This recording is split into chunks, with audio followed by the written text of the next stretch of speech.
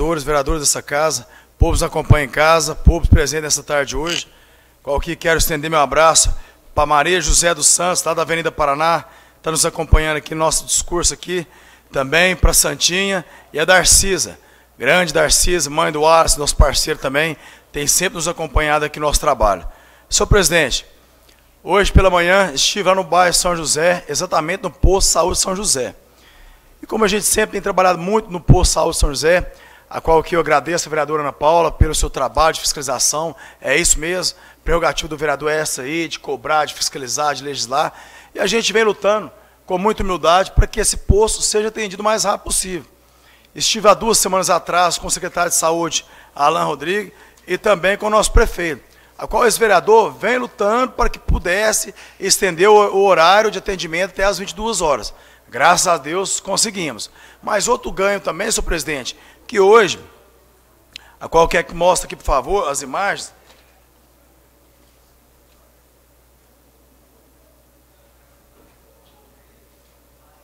Dois de maio, senhor presidente, realizado o processo licitatório, onde a empresa vencedora, PS Martins Construção e Terraplanagem, ganhou a licitação na modalidade menor do preço, para execução de a obra, gente, completará a substituição da cobertura do telhado do, do Poço Saúde São José, toda a pintura do Poço Saúde São José, aquelas fiações expostas, graças ao recurso nosso, junto com o deputado também Eduardo Azevedo, que a gente tem lutado muito, e o deputado nunca deixou de nos atender deputado sempre esteve comigo nesse posto. Essa região sudoeste, que ali, gente, atende mais de 30 mil pessoas ao mês. A demanda é muito grande e a gente tem que melhorar aquele local. Além de melhorar aquele local ali, a gente também está lutando, junto com o secretário de saúde, junto com nossos parceiros, nossos representantes e o executivo, para que possamos, gente, uma unidade nova até aquela região ali, a região, como a gente sempre falando, uma região que precisa de uma unidade nova, a qual a gente está lutando para que isso aconteça o mais rápido possível. Até que a gente não consiga ainda,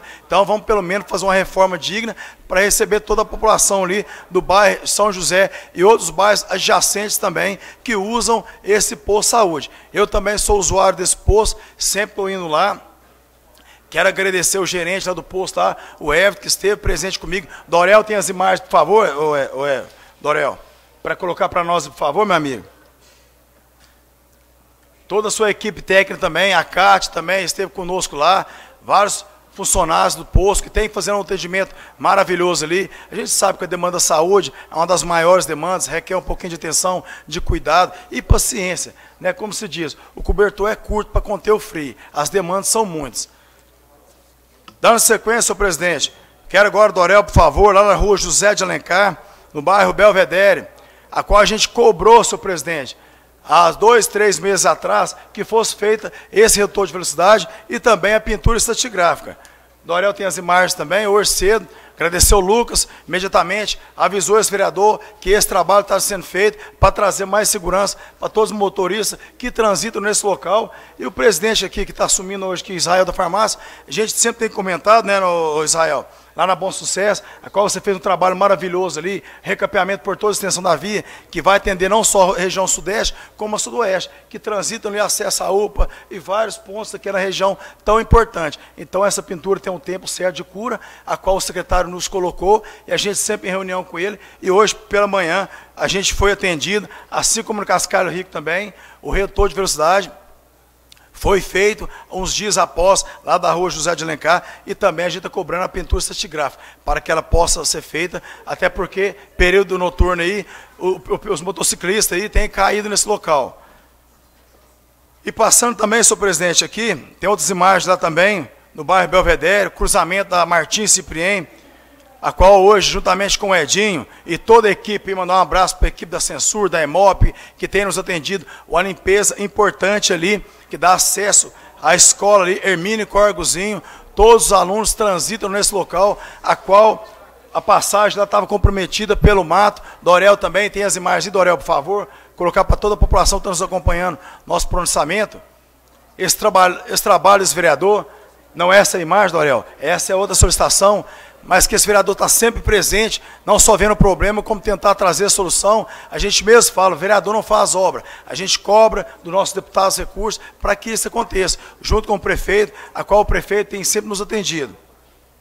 E para finalizar, Quero falar, senhor presidente, dessa imagem que foi colocada agora, Dorel, lá na, no bairro Realengo, a qual, na rua Francisco Fernando Fernandes, minha amiga Márcia, tinha nos cobrado uma simples demanda.